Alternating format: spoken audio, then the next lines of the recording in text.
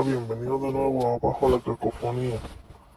Recuerda darle a suscribirte, comentar y compartir este contenido. También darle a la campanita. Si te interesan estos temas, yo sé que estés a favor o en contra. Bueno, voy a empezar este episodio diciendo lo siguiente. es que me da risa porque sucede que estos días volví a escuchar a uno de estos cantantitos de, de reggaetón, uno de estos intérpretes, quejándose porque decía que los premios Grammy, que no le daban respeto, no recuerdo las palabras exactas, pero como que, bueno, quejándose porque no, como se han quejado otros intérpretes de este de género musical o antigénero musical que se han quejado se han quejado de los Grammy porque los utilizan para la parte del espectáculo musical o del espectáculo. Este los invitan para eh, interpretar su sus cosas, pero que no le dan premios, entonces he quejado que esto lo ven como una falta de respeto. Bueno, a todos raperitos yo lo único que les puedo decir es lo siguiente. Perdón, a raperitos no quiero hacer una distinción.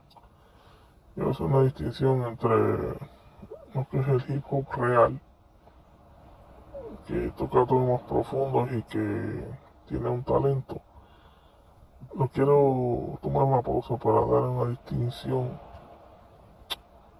con, eh, por ejemplo, he escuchado en la emisora de la Universidad de Puerto Rico que hay cantantes de hip hop muy buenos y que tocan temas profundos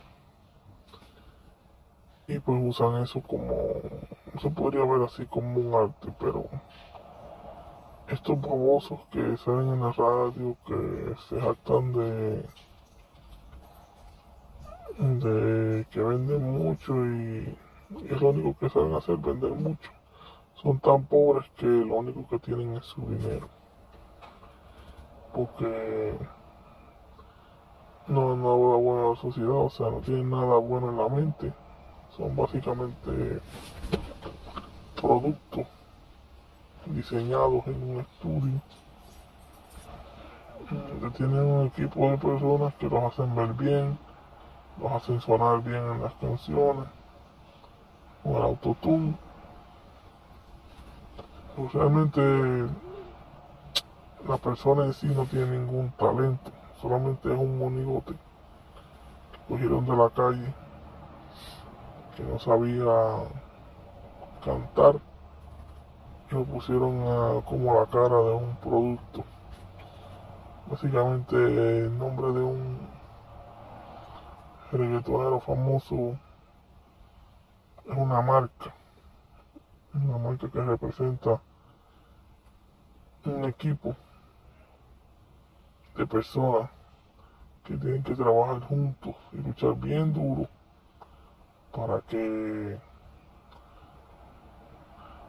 este básicamente este personaje que se inventaron que no sabe cantar que no tiene nada bueno en la cabeza porque lo que habla es basura se convierte en un producto este comercial exitoso.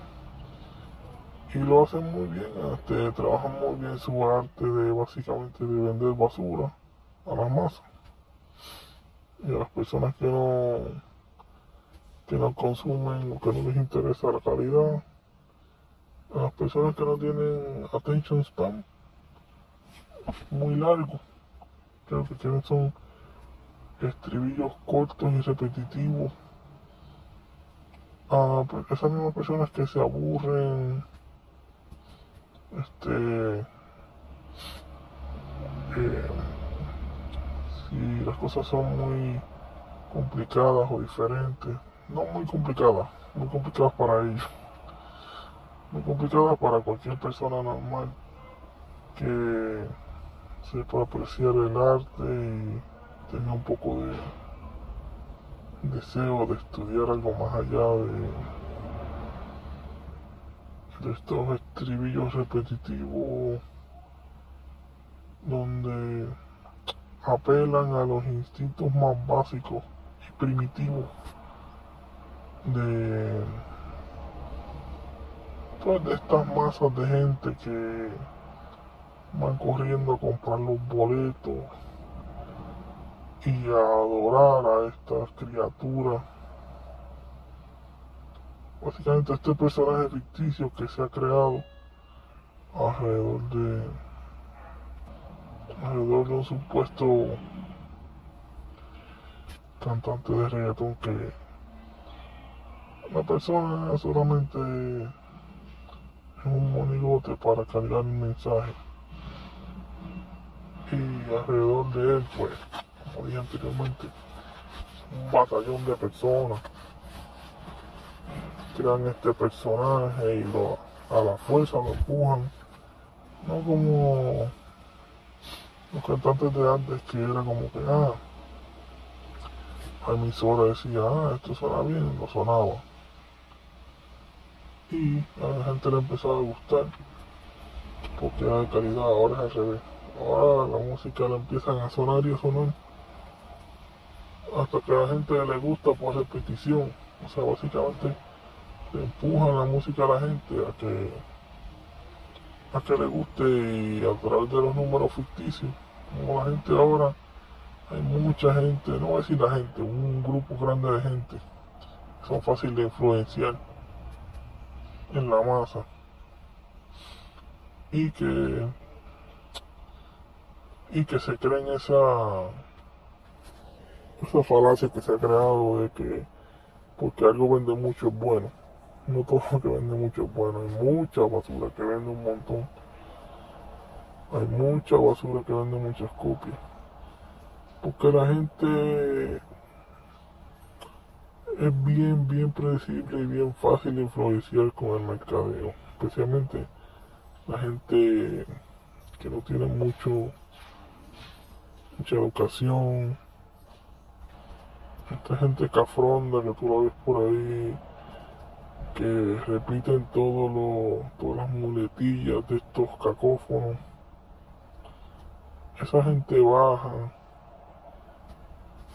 y no quiero que me vaya a confundir, no estoy hablando de clases, no estoy hablando de gente pobre específicamente.